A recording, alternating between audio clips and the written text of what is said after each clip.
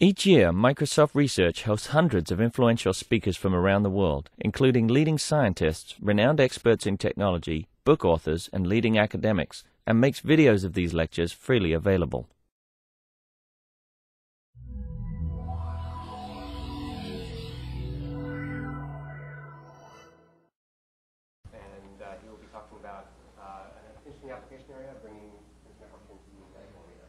So I'll talk a little bit about that. Um, on the plane over here, I decided to use this venue instead, um, at the suggestion of Stuart, actually. I gave a, a keynote speech at a wireless sensor systems conference in Chicago. And what I want to do instead is raise a bunch of questions that, that have been rattling around in my head about where are we going to take sensor networks now that we've become starting to become successful deploying these things in the field. How are we, how do, what impact does this have on the internet architecture? How, how are we going to tie these into the rest of the internet and develop applications on top in the future? So I'm going to apologize in advance. My, this talk is going to raise more questions than, than answers. So, um, you know, and I want to get feedback. The, the idea here is to have a discussion. So here's the problem in a nutshell. And I think that most of us in this room, and we've seen this picture a few times today, if your mental model of a sensor network is roughly, uh, we start with a cloud of motes that we deploy out, and there's some uh, lines between them that indicate something about radio links. Uh, we'd like to have some kind of a base station that we can use for controlling it or for collecting data. And then um, the, the question is, you know, what's the, what's the stuff that it ties into? And so what we do here is we paint it pink and we put a somebody else's problem field around it. And I've seen a number of these pictures today where effectively the sensor network is there, but then there's something connected off, off to the sensor network, but we don't know what that something is. And we kind of have a question mark and maybe a person sitting at a keyboard. But a, the question is, what's in that cloud? So um, I think that you know, the given, given that we've got this, this you know, great success in sensor networks and a lot of work going, a lot of activity there, I think the next question to be asking is, how are we going to integrate them with the rest of the internet? And I call this a cri- crisis of connectivity. It's a crisis in the sense that you know we're we're going to be able to do this now. Now the question is, how do we tie it in? And I don't I don't think that there's an obvious answer to this. I think that there's been some proposals, but really not enough work on this problem. Um, a couple of things that we need to keep in mind. First of all, sensor nets are not just passive instruments. We can program them, we can retask them, and I think that that changes the nature of how we think about interacting with them uh, from an internet perspective. And they're not like internet services either in the sense that um, we can't provision them in the same way. If I um, become very popular as a website, I can buy more servers and a fatter network pipe. And a sensor network may have extremely limited capacity, yet very high demand for whatever data it's providing or for multiple applications that want to go in and program it and query it. So we have to think about, you know, how do we extend the internet architecture to support large numbers of wireless sensor networks in the wild? And um, lest you think, you know, so everybody's had their pic- pretty pictures of their applications, so I'm going to do mine. And but lest you think, you know, I'm just going to talk about what other people do. We're going to I'm going to tell you a little bit about lessons we learned trying to put a sensor network in the wild and trying to connect that thing up to the internet. So this was an application that we have uh, going on with um, geophysicists and seismologists at UNH, UNC, and in Ecuador to use sensor networks for monitoring volcanic eruptions.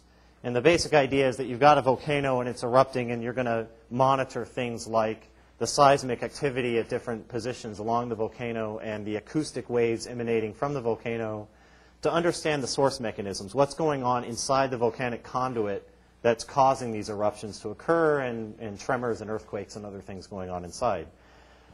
So we developed this sensor network, and the basic architecture is fairly conventional from the point of view of in this room. I think that there's a number of things that are unique about this, but effectively we have a large multi-hop network. These are Telos motes, and using appropriate antennas, we're able to get more than 400 meters range between them. So it's not very dense. It's extremely sparse. Uh, the um, base station is not at the same site as the sensor network because the sensor network is you know, off in the jungle up on the sides of this volcano. The nearest place we could plug a laptop into the wall, and in fact, there's no power there. We have to run an electric generator 24 hours a day, was four kilometers away. So we have to have some long distance connectivity. This is a four kilometer link.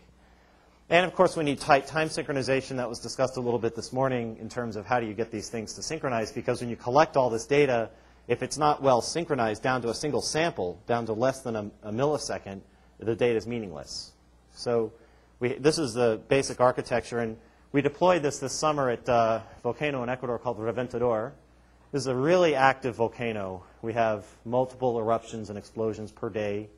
Uh, in one case, one of the sensor, uh, one of the sensors was actually destroyed by a large boulder that was ejected from the vent of the volcano. So we have interesting failure modes. Um, this is one of my students, Konrad, who is working on this, and I'm showing there's these three uh, antennas here. They're all serving different functions in this case. One of them is a sensor node. One of them is our GPS receiver for the time base. This is our base station that's relaying the data over this directional antenna back to the observatory. The next sensor node, if you see this little white line right here, this is the next node that's over 100, 150 meters away. So they're not really densely, the, the picture's a little misleading in that sense, but they're actually quite far from each other. So we deployed this. It ran for about three weeks. We got hundreds of explosions, eruptions, earthquakes, things like that. Um, many, many gigabytes of data logged. Uh, and we're still sifting through it and trying to make sense of it all. There's an example of one eruption, and this is all 16 sensor nodes reporting this signal here, and this is after significant filtering and time correction of the data so that it all lines up. So it's not like it comes in in this form on the screen, and the seismologists are really frustrated because we're collecting all this data and we're saying, see, look at all the data on the screen, it's numbers. and they want to see the, the wiggles, as they call them. And unfortunately, we couldn't show it to them for weeks because we had to go through and clean up the data. So some immediate questions, issues, problems that um, came up. The first thing is, you know, this wasn't really connected to anything. We're logging the data on our laptop at the observatory, and not in a form that any scientist would ever want to use. And we've been trying to shield them from that. And this is a frustrating problem because they have their own data formats and they have tools, significant pieces of software that they're ready to consume our data, but we have to get it into the right form for them. And this is very frustrating we tried to make the data available via the internet.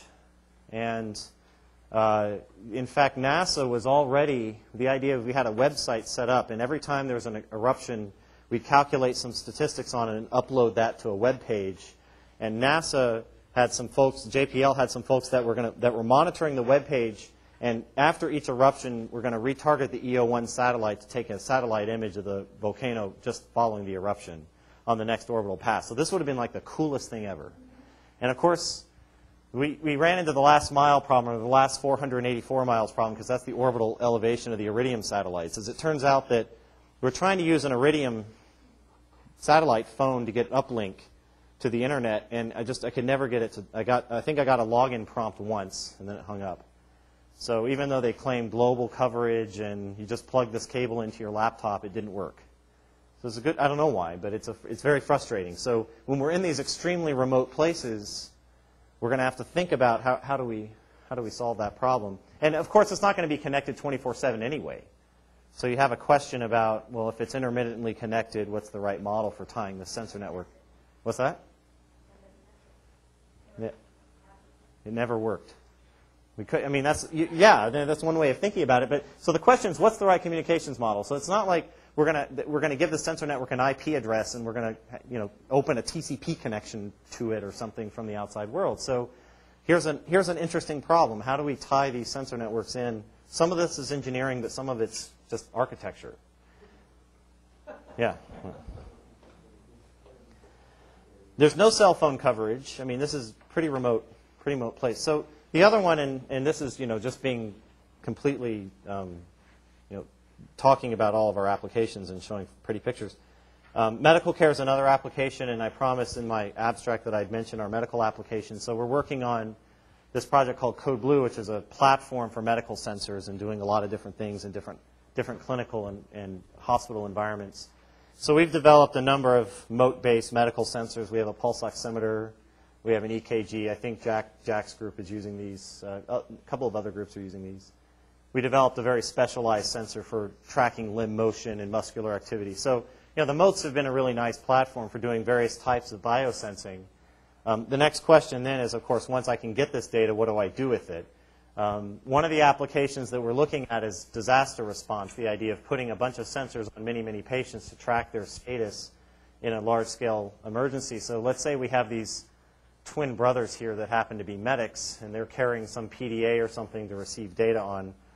What they're going to do is place sensors on the disaster victims and then issue some type of a query, so we, you know, TinyDB style data acquisition to this network of sensors that are on these patients. And the sensors are going to report back. And in this case, we need multicast because we have multiple receiving devices. And we can't use aggregation because it's not meaningful to ask what's the average heart rate of the patients. That's probably not something you'd want. So there's some question, but we can still do some of the type of type of in, more more intelligent data acquisition techniques. We'd like to know, for example, if a patient suddenly drops out. Is, is that because they wandered off, the battery died, the sensor fell off the person's finger? What happened here? And so there's a, you know, we need, we need this, the network to be reactive to these types of things. So one of the things we've developed, and this is part of our collaboration with Feng Zhao's group here, is, uh, is a web services interface to this. And we've just started to experiment with this, but let's say that we had a number of disaster sites or ambulances around a city somewhere with these um, code blue networks of vital sign sensors. And th this is a realistic scenario. We're working with the cities of Malden, Everett, and Medford. They're very worried about large-scale disaster like a tanker bomb-laden tanker coming into the harbor and blowing up and sending chemicals everywhere. And so this is like, you know, the city governments are actually nervous about this stuff. So if you had a large-scale disaster, you had a number of medics and ambulances at the site, how do you tie that into things like the EMS 911 dispatch system so that you could do triage and know wh where to send different patients to different hospitals and trauma centers? Um, hospital information, the hospitals have pretty significant information systems. What do you do to tie into those systems. The hospital staff also want to query the, the, the status of patients out in the field from where they're standing so that they know who's coming in and how to prepare to treat them. So, you know, the, you know, the answer is web services, right? if you, I don't know what the question is, but the answer is web services. Um, but this is, you know, a nice way of thinking about the problem in terms of we could really use this um, a programmatic interface. So what's come out of this is, I think, is really more important than the particular format on the wire. It's not so. I mean, it is SOAP, but it doesn't matter that it's SOAP. It's a, the fact that now we've opened up this network of sensors to applications that know how to speak SOAP over the internet. And so all of the functions here are exposed through this programmatic interface. It's not just, well, here, read my technical report to figure out what the packet format is. Okay, so there's some, we're starting to, to get our, our feet wet with that. Deborah scooped me a little bit on this, but I'm going to go through it anyway. Um, the question that makes all of this come to a head, I think, is when we start going after sensor networks that are much larger in scale than a bunch of motes like that you could fit on a table or in a box or in Prabal's case in a few semi trucks or something that um, putting thousands of sensors all over the planet. And there's a number of very large efforts in the, in the real sciences, the physical sciences, to do this. And EarthScope is one. This is a big NSF project. They're going to be putting 15-year effort to understand basically everything going on with North America seismically and, and tectonically and everything else. So they're going to put 400 seismometers and 1,000 GPS stations and 180 strain meters all over North America. Um, Deborah had the same picture here. I had to augment it a little bit, so she's down there with her sensor node. But um, NEON is another big project that Deborah mentioned earlier, and that's trying to do.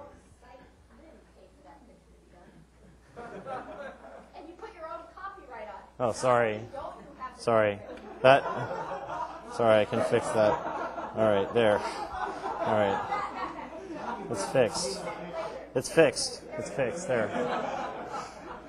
Sorry. Um, well, that, uh, your picture's there. That, that was, that was the, the indirect credit. Credit. There you go.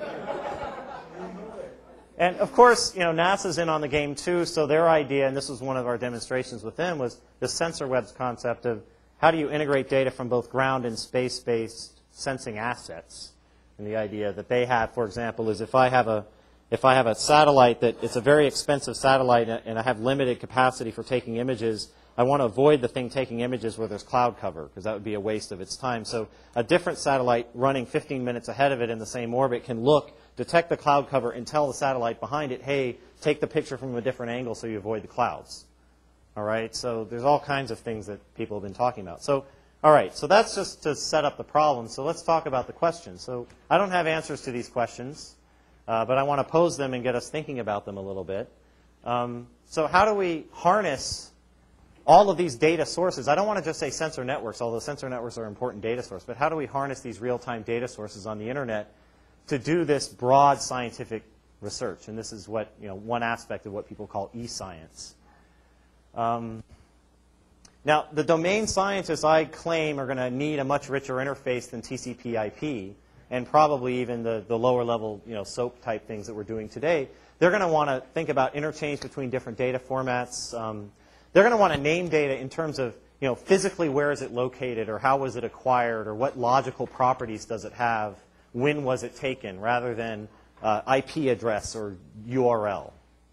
Okay, um, they're going to need to have some way of tracking data, data provenance and, and, and annotations. Um, how do we take all the sensor data and push it to the internet? You know, we've been playing around with SOAP. What about RDF or HTTP? Right now, a lot of it is raw byte streams or human readable stuff. I make graphs and put them on the Great Duck Island webpage. It's not, not clear that, that that's programmatically accessible. Um, and then the other direction, so pushing the sensor data up, how do we retask the sensors and support multiple applications and concurrent queries to these, these things? And that's you know, a big chunk of what Joe just finished talking about in, in Virus Suite and other projects. But we need to think about how to support multiple applications and protect privacy and manage access to these resources. Um, Another question is, given that I've got all these, these sensors all over the, the, the, world, perhaps, how do I distribute the query processing itself onto the internet? And I'm sure a lot of people in this room have been thinking about that too. But unlikely that we want every user of the NEON system to suck all the data down to their, their machines locally to do the processing. Right now, the um, EarthScope project, in the, they have a GPS-based geodesy. They're uploading all this data to an FTP server in Colorado. And so if you want that data, you FTP to that site in Colorado and you pull down the data that you want. And then you do your processing on it. And so that's, that's fine for kind of studies where you're looking at data that's six months old, but if you wanted to do anything in real time, it's unlikely to work well. Um, how, how do we find these sensor sources? I mean, right now, I, would say most of us, I, I remember like three URLs, and one of them is Google. And so it's unlikely that we're going to, you know, remember the old FT, the canonical FTP site list? You know, this text file that went around said, here's all the FTP sites in the world and what they have. GIFs, GIFs, GIFs, GIFs, GIFs. Right? Well, what about sensors.google.com now serving 8 trillion, 197 billion, whatever sensor networks? I mean, how are we going to index this stuff? How are we going to find it? So my argument here is that I think that we in this room are the ones that need to be going and doing this because in some sense the hard I mean the hard sciences are the one they're building their own solutions anyway. And if we and, and many of us in this room I think we've been very good about working with the domain scientists. And that's good. Not everybody in the in the field does that but I think we tend to because we're very close to what they need. And I think that we should be going to the next step and talking about how do we partner with them to address all of these issues Five minutes? I'm almost done. Okay, so just to give you a little taste of stuff that we're, another project that we have at Harvard to look at this issue of querying many real-time data sources on the internet. Um, we have a paper coming up in ICDE as well on this. The idea is a project called Hourglass, and here's the idea. Let's say that we have a bunch of data sources all over the, in this case, just the continental U.S. Um, and we're going to make use of an overlay network, and in this case we're using Planet Lab as the way of getting started, but it could be almost anything. And then a bunch of users that want to issue different queries to this data. The question is, where do I, if you, if you think about your query as a bunch as, a, as a, your classic database style of a tree of, of operators that are you know, processing data and pushing them up, where do they run? And do I run it at one location or do I distribute it? And if I have many queries that are doing similar things, how do I co-locate their operations and so forth? Well, what we've been looking at is the, the networking side of this is trying to optimize the placement of these query operators on the internet to reduce the total amount of network bandwidth that you're consuming. This is an efficiency metric that we're going for. We're going to, we call this a stream-based overlay network. So the idea is if you know about DHTs, DHTs are one type of overlay network that are very good at storing tuples like a, a hash table. Well, stream-based overlay network is a, new design that's really focused on streaming data and optimizing the, the routing of that. So In this case, if we have a user here querying data, we're going to be placing filters and aggregators and other types of query operators on these hosts based on the network performance between these different sites. And so we monitor that stuff in real time and we tune the placement and we migrate things as necessary. Now, I don't have time to go into how it works, but that's the idea.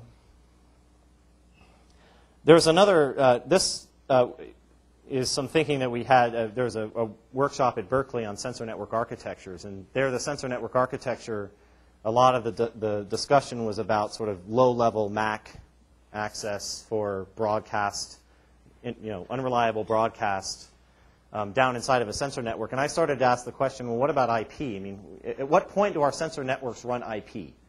We've got many specialized solutions today, and so I've been thinking about IP is probably ultimately what we're going to end up with anyway, whether we like it or not. And we need to start thinking about what does that mean to give every sensor node in the world one or more IP addresses. You know, um, so you know, there's a reason. There's a lot of good reasons to go to IP. Um, although I'm going to claim it's probably not for all sensor networks. So in Deborah's terminology and Tenet, you might imagine, you know, the microservers have IP addresses, but the little mote clouds don't. But down the, but they do. No, no, no. That's not you might imagine. I just meant that. That that is that is the case. I see. Um, so. That's not the end of the problem. IP is just Right. one piece of this internet. Well, of course, yeah. No, the IP is the lowest level stuff. So, but you got to you got to bootstrap yourself somehow. So, you know, lots of issues people have said, you know, well, you can't run IP on motes. And I did a demo that these guys at HP put together. It's a basically run TCP, a small TCP IP stack on a Telos mote and a web server on the mote, and it has an IP address. And I point my web browser to it, and you can see the temperature. So it works. You can do it. It uses up all the memory on the mote, but the point is, this is this is it's feasible to do that. Um, People are worried about the byte limits and the packet headers. I don't know how much that's a problem. Um, what about the, the, but I think the, the deeper question really is the architecture. IP is about addressing hosts and, and indirectly services through port numbers. And I, I don't know how to think about a sensor network. Does a whole sensor network have one IP address or a million IP addresses? And do I use multicast? What's the right, how does that all tie together? Yes? So I think this might be maybe a key point. Um, when you say end-to-end abstraction in the internet, you're talking you know, end-host to end-host. And the reason IP is not appropriate for sensor networks, as the argument goes, is uh, you don't have end-to-end communications. You have sort of one-hop aggregation. But if you follow what you know, Deborah and Chris were saying earlier today, where you want to localize, you know, you want to collect data at the microservers, maybe IP is not the wrong way. Right. Maybe IP isn't the wrong way. Maybe IP is appropriate in the sense. Right. I mean, the problem is more the disrupted communication. It's not, it's not IP that's the problem. It's TCP. You don't necessarily want to do an end-to-end TCP connection over that. He doesn't. You can hop the data. But Well- IP, you know. We'll talk about this offline, but yeah, it's, I think the arguments for is it end-to-end or is it sort of a one-hop, you have network ag- aggregation, which IP doesn't do, right? I don't want to distract this conversation, we know we're tight on time here, but I think there's an interesting question here, if you, if you Right. think that stuff should be aggregated, um, in the central or not. Well, a question of what you mean by aggregation and what you're aggregating across. And so, so I think this is the, I, I don't have the answer, and, and none of us do. Hopefully, we can start to think about this because I think this is very important. Some of it has to do with where do we think sensor platforms are headed? Do we think that our sensor nodes in the future are going to be dust or inhalable? I saw the Slashdot comments when the Smart Dust article went online, and people wrote you know, the things like, what happens when you inhale your smart dust? Um, or are they going to have more? I mean, these, these you know, for volcano, vol- volcano monitoring and many environmental things, the sensor nodes are going to be more like bricks. Anyway, so it's, it's unclear that we can't put Linux on there. So, um, so just to take away, basically, I think that this is, this is the really rich problem, the really interesting open problem for us as a community. We, we're, we're at the point now where our sensor networks are giving us more data than we know what to do with. We want to implement really interesting applications, especially those that span multiple geographically dispersed sensor networks all over the planet, potentially. I think in order to go to that next level, we need to think about how do we tie the networks into the internet and what's the right architecture for doing that, because otherwise we're just going to end up with a bunch of stovepipe systems that don't talk to each other, and we all know what that leads to. So I guess that's all I have. Thank you.